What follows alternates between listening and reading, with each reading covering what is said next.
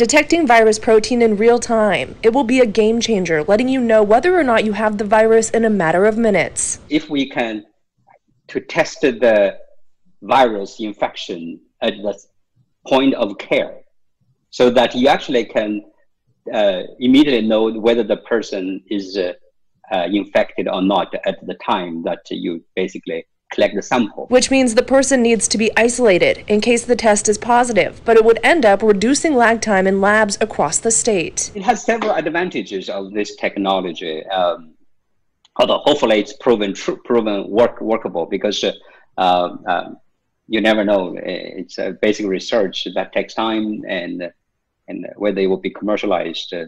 But anyway, the general idea is hopefully uh, if not for this pandemic, but maybe for the next pandemic. But it's very complicated, and Feng Ding says he's still in the beginning of their research. We use that to actually design uh, a, a, piece of DNA sequences that actually can recognize uh, the spike protein.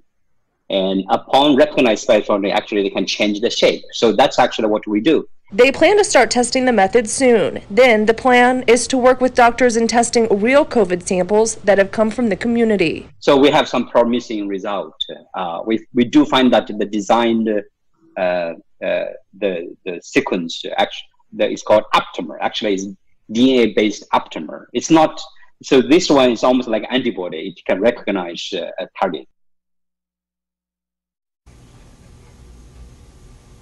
And the idea still is in the development stages, but ideally, he says the device will be small and portable for easy transportation. Reporting live, Kayla Conboy, Fox Carolina, the 10 o'clock news.